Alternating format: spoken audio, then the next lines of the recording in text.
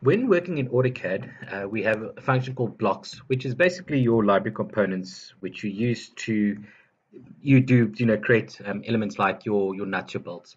So in Inventor, we've got something called the content center for our 3D content, which you know nuts, your bolts, your what is your um, you know extrusions and things like that. Um, but in Inventor, what not a lot of people know is that we've also got Inventor blocks.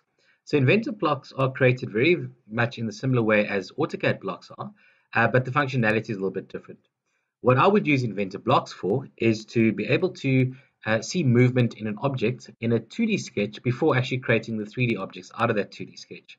Uh, just makes a little bit quicker. You know, 2D sketches is quick, a little bit quicker, you know, when just looking at the functionality. And, you know, then you can get sort of the lengths of maybe links or something like that when you are uh, creating an object. So the first thing to do is when you go and create a um, an, an, inventor block, under your sketch tab, uh, you'll see there's the create button. Just click on the drop down um, arrow and you'll see there's create block. So by selecting create block, um, it brings up this dialog box. And what I'm allowed to do, well, what I'm going to do first is select the geometry, uh, give it a name. So I'm just going to say base. Um, and I say this is for holding on the links or something. So just a brief description of what you're doing. Uh, and then your insertion point. The insertion point I'm going to do is going to be in the bottom over here. That insertion point is like your base point in your AutoCAD blocks. Uh, next thing I'm going to go apply because I actually want to create this link block here as well. Just notice in the browser that your base block has been created over here. So next I'm going to create a link over here and I'm going to say link uh, my insertion point, I'm going to go put on the bottom, next on the center of that circle. I'm not going to put a, a description in and select OK. Now, uh, with this, we will now go and put our, um, our constraints on. So I'm going to say, right, the middle of that line over there, the base has to be constrained over there. Okay, so it is telling me that it's over constrained. I've already constrained that when I created my initial block. So we're just going to leave that for the moment. Now to create another link, I don't have to go and redraw it. So I just have to drag and drop it and it creates a second instance of that link. Now I'm going to go to my concentric constraints and select and start creating that um, constraints over there. Now the block wasn't, or the base wasn't constrained properly. So let's just go and say, right, you know, that's got to be uh, horizontal. And then uh, I'm going to drag in another link over here. So we've got two instances of that link.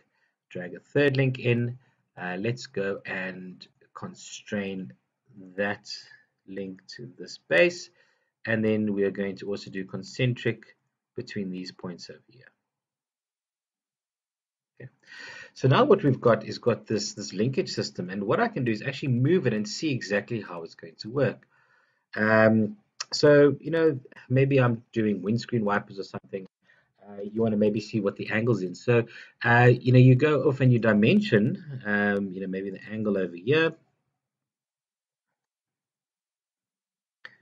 And that angle that you have, uh, you can say is a driven dimension. So if I had to try and move this now, you see I can't move it because it's, um, you know, this is a dimension which now uh, sort of locks that uh, linkage over there. So what I do is I select it and I say it must be a driven dimension. So you'll see the little brackets put around the driven dimension. And now what happened is when I do select, you'll see how the angle changes uh, when I've created this. So, um, you know, maybe we want to go and change something uh, in the links or maybe change the base. So if I go to the base, I double click on it, it brings up all my dimensions over there. And, you know, the one dimension I maybe put in, let's just make this base a little bit longer. Let's make it 75, see how that works there click on finish and you'll see there that the the block now has a different movement when I move it you know sort of maybe the the link length is a little bit too long so I can go into one of the links and say you know this is now going to be 30 okay you'll see all three instances do um, updates and there once again I'm able to you'll see the motion now is a little bit more restricted that the links a little bit um, are, are, are shorter over there. Okay.